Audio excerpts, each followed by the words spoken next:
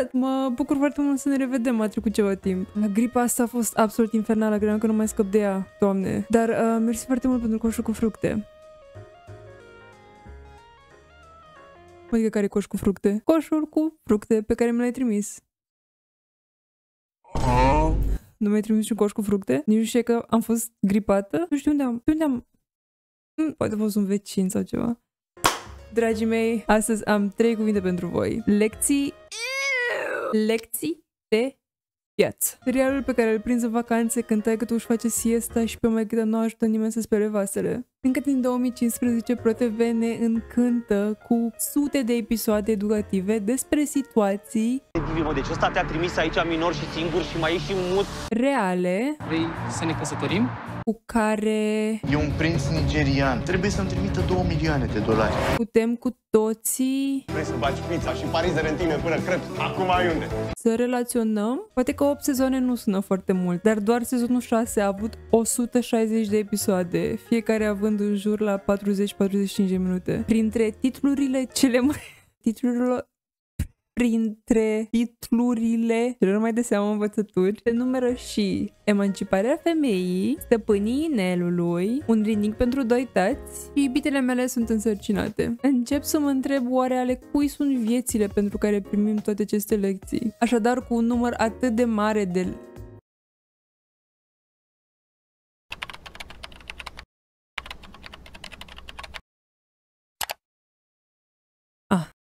pilde cât mai diverse de viață, o întrebare mă lasă rece. Am oare suficientă viață să pot învăța toate aceste lecții? În momentul filmării, show-ul are 743 de episoade, ori 42 de minute, asta fiind media cât durează un episod, ajungem la 31.206 de minute, adică 520 de ore, adică 21 de zile de vizionat fără întrerupere. Până termin cele 743 de episoade, mai apar unele noi. Și tot așa și tot așa, realizând că lecția era că statul la calculator te îmbolnăvește. Lecție pe care am învățat-o acum mult prea mult timp. Deci, care e soluția? Să ieșim din casă și să lăsăm lecțiile să vină de la sine, promovând creșterea noastră naturală în adulți responsabili, sănătoși și curioși în fața ce ne poate rezerva viitorul? Nu. Soluția este să mă uit exclusiv doar la ultimele 5 minute de la fiecare episod, fără pic de context și să-mi iau lecția de acolo. Pentru că, așa cum bine știm, trebuie să fim eficienți și să gândim la maxim. Cum altfel se presupune că ar trebui să fiu studentă la Academia Vieții și la celelalte trei academii pe care le urmez, să am două joburi și să-mi deschid o afacere, toate astea în timp ce fac mewing. Dacă stai să te gândești, cea mai valoroasă parte a unei pilde este deznodământul său. Așadar, haideți să dăm speedrun la școala vieții și să vedem cum arată un om care și-a deblocat 100% din creier. Înainte de toate, trebuie să vă vorbesc puțin și despre Voio. Nu am anticipat ca acest video să servească și ca un scurt review al platformei de streaming, dar folosind-o deja de câteva luni, mie e cam greu să nu mă plâng puțin de ea. Cred că tot ce trebuie să vă spun despre Voio, ca să vă dați seama cât de relevantă este platforma în sine, este că în anul domnului 2024, Pariu cu viața este pe locul 7 în topul celor mai vizionate seriale, urmat chiar de inimă de Prețul, deși este unul decent, playerul este puțin un coșmar. Nu o să înțeleg niciodată de ce au ales să facă alegerea calității videoului un slider. Astfel, lăsându-te să dai la ghici cât înseamnă minim calitate și maxim calitate. Sincer, cel mai mare minus pentru mine e că nu mă lasă să ajustez viteza cu care rulează videoul, astfel forțându-mă să mă uit la Maria Lungu cum își savurează amaretosaurul la gale pe cursa de la Survivor. Din fericire, ProTV s-au gândit și la cei ce nu-și permit să dea 23 de lei pe un abonament, postând o mare parte din primele sezoane din lecții de viață pe YouTube. Ah. Ah, ok. Poate că nu au făcut-o dintr-un spirit socialist, ci doar au realizat că pot face mai mulți bani așa. Oricum ar fi, haideți să trecem la treabă. Ok, știind că cei de la ProTV sunt puțin mai șugubeți în ceea ce privește fair use pe YouTube, o să am grijă cu cât și cum o să vă arăt din fiecare episod. Ideea e că suntem prezentați cu o situație clasică de bărbat de 20... Uh, scuze, adolescent de 16 ani, rebel O să plec de aici. Care cade în păcatul Iubita ta este nenormală. heterosexualității, dar nu în orice fel, ci cu ceea ce pare a fi o lucrătoare sexuală. Mă întreb oare cum va fi soluționat acest conflict. Varianta A. Mihai va primi liber de la judecător să trăiască singur, independent de părinți, cu iubita sa Eliza. Varianta B. Părinții realizează că într-o societate puternic patriarhală, deseori femeile de toate vârstele, dar în special cele tinere, care nu sunt niciodată luate în serios și sunt sexualizate fără consimțământul lor de când sunt mici copii, ajung să recurgă la ceea ce pare a fi singura lor șansă de a-și câștiga un trai decent, devenind lucrătoare sexuale și încercând să-și recapete puterea, făcând-o cu mândrie, dar nerealizând că prin acest act, care la prima vedere pare a fi unul feminist, el doar servește aceluiași opresor care le-a abuzat de la început, și că doar susținând și împuternicind femeile de mici, tratându-le ca ființe capabile de orice își propun, putem sparge acest ciclu toxic. Astfel, primind iubita lui Mihai în familia lor, cu brațele deschise, oferându-i tot suportul de care nu a avut niciodată parte, Varianta C. Dau skip 6 luni, o pun pe Eliza să-și schimbă hainele și să-și prindă părul și o dau la pozițială. Sau varianta D. Devin toți dependenți de planking și uită de conflict. Acum știu ce credeți. Varianta D. Din păcate vă gândiți la alt episod. Răspunsul corect e, bineînțeles,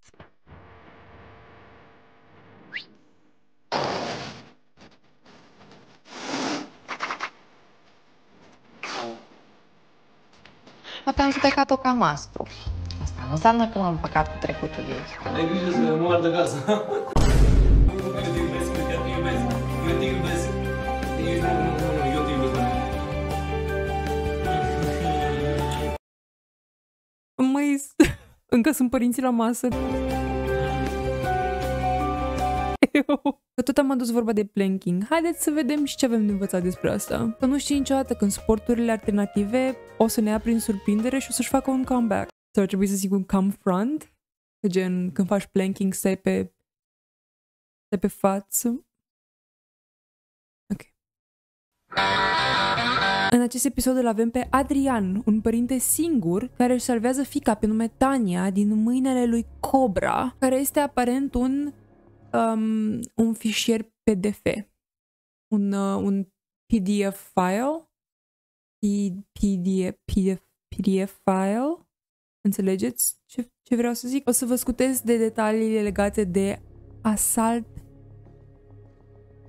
pentru că, din păcate, acest episod nu oferă nicio informație utilă legată de acest subiect, doar au folosit o situație nenorocită cu scopul de a dramatiza firul narrativ al episodului. Șocant. ProTV chiar nu mă așteptam. Ideea e că această adolescentă a trecut printr-un eveniment absolut traumatic pentru că un polițist a încercat să facă pe justițiarul și să prindă persoane precum Cobra, folosind imaginea Taniei pe internet. Sună oribil, știu, dar Aici vorbim despre un episod din lecții de viață. Clar, totul se termină cu bine. În cazul nostru, happy ending-ul este că... O lasă să facă orice dorește, dar cu o condiție.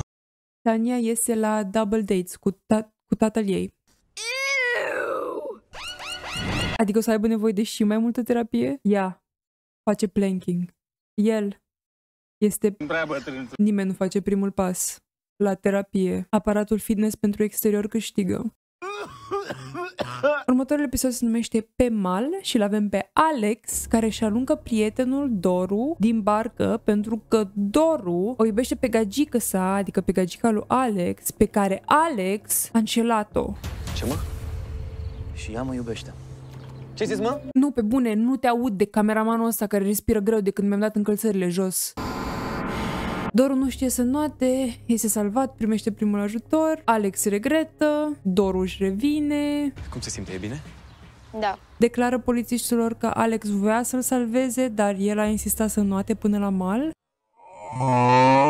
După avem clasicul fast forward o perioadă de timp, în cazul nostru un an. Cosmina, fosta lui Alex care a fost înșelată, e super fericită și departe de Alex cu... Nimeni altul decât A trecut un an și am venit Uh, cu... cum suntem doar noi doi și e perfect. Uh, Doru e jumătatea mea. a, a, Doru. Ok. Pilda noastră uh, este... Învață să noți. Ok, pentru următorul episod o să vă dau puțin spoiler. Singurul motiv pentru care am ales să-l includ în acest video este că cel de-al patrulea zid nu că este spart. L-au nenorocit și au început să vândă bucăți din el la suprapreț. Nu știu de unde au luat acești um, domni actori, măi, dar se uită constant, măi, constant în cameră.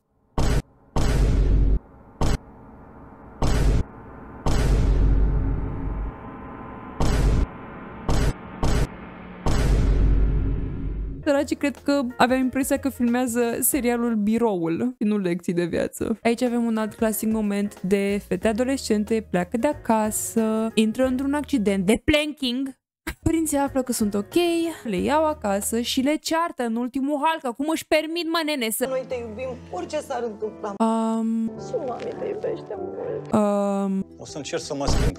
tatăl recunoaște că a greșit? Uh, ok. ProTV nu știu ce bazme credeți voi că scrie, dar știm cu toții că asta nu s-ar întâmpla niciodată.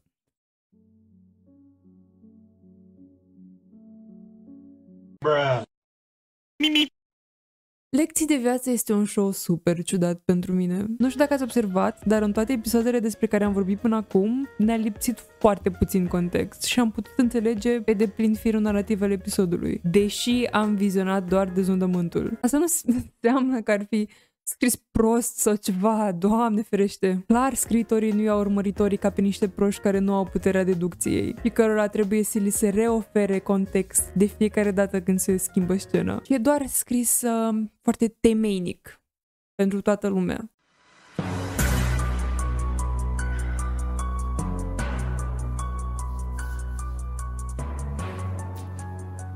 Nu pot să cred că ai făcut asta, Marian. Sincer, chiar nu pot să cred că ai făcut asta din nou.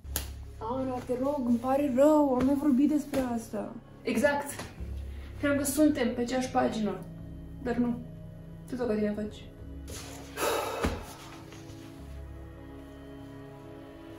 Sunt îngrijorat, da. Am, am nevoie de niște timp. Ana, te rog, înțelege, știi că am nevoie de asta. Știi că am nevoie de el. Știi că am nevoie de vocea lui. Doar cu el putea dormi. Am insomnii de atâția ani. Doctorii au spus că asta e singurul remediu. Oprește-te. Oprește-te. Nu să mai găsi scuze ca întotdeauna. Mi-ai promis că nu-i vei asculta podcasturile fără mine. Sunt, uh, sunt dezamăgită. Babe, te rog. Am să te rog să pleci. Am, uh, am nevoie de timp.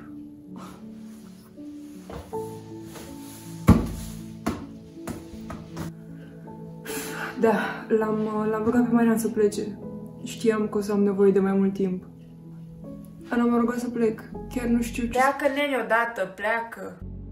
Pentru că Marian a trădat-o pe Ana din nou, ascultând fără ea un episod din podcastul ei preferat, aceasta l-a dat afară pe Marian, având nevoie de mai mult timp singură. Dacă e un festival la care oamenii cântă la covrig, eu nu mă duc. Deci dacă dacă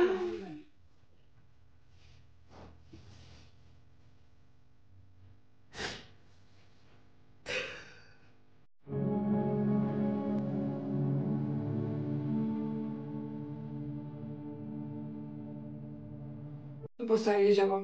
Trebuie să îndrept lucrurile.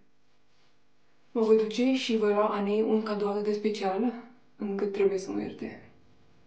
Pentru că lucrurile nu se vor îndrepta singure, Marian știe că unicul lucru care o va face pe Ana să-l ierte e să-i pregătească un cadou special. I-am pregătit Anei un cadou special. Știu că așa e voi recăpăta încrederea.